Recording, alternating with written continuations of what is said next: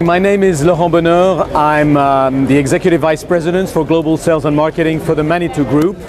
Manitou uh, is a worldwide company in construction equipment and we also uh, are the owners and we're developing a great American brand which is called Gehl and we're happy to show here at Conexpo uh, this um, uh, skid steer which is a concept electric skid steers. It, as you can see, it is our standard 165E. It's a concept. The skid steers are used a lot in construction, and this is actually one of our best-selling machines. We've decided to go into the electrifications because we've got a lot of customers saying to us, you know, either I have some constraints on environmental because, for instance, in Europe, there's a lot of requests for non-emissions, you name it, or I have some customers saying to know, you know, I work underground, I work in parking lots, I work in hospitals, and my customers, and I can't make any noise, or I've got some issues regarding my emission. So we said, well, let's take a look at what we can do.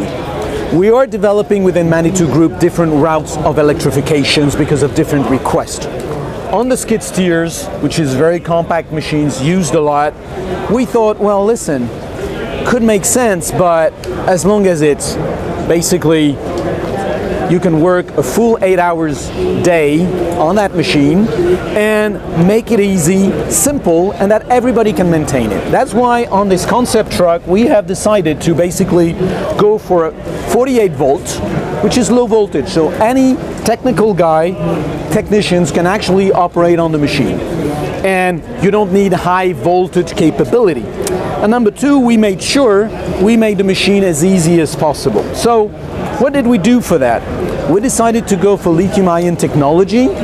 We decided to ensure we can charge the machines from the outside.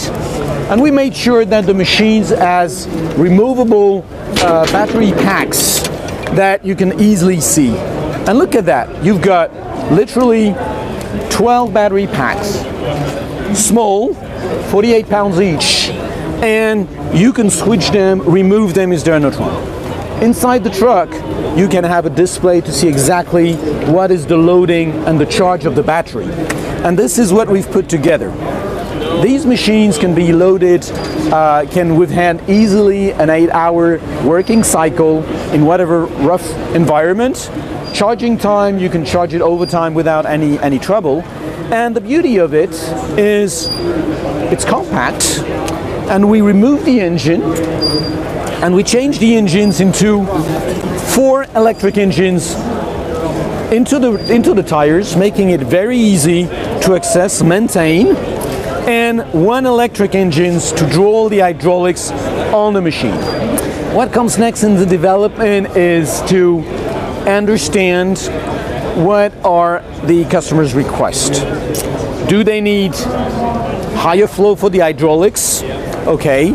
Do they need higher torque? Do they need extended time of charging of, of, um, of duration? 12 16 hours? What kind of intensive use are they planning to do based on that our engineers will adjust uh, basically this concept and we'll move it to a full-blown prototype and then we can go fairly quickly into production depending on the customer's demand so we will be saving on cost. We will be saving on cost of maintenance, we will saving on and the wiring and it's pretty pretty cheap to do it. Of course the purchase price will be slightly higher, then we need to play with the residual values to work on the total cost of ownership. But because of the expertise we have within the Manitou Group on electrification of machines, of telehandlers, of industrial forklifts, of moving elevating platforms, we know how to do it.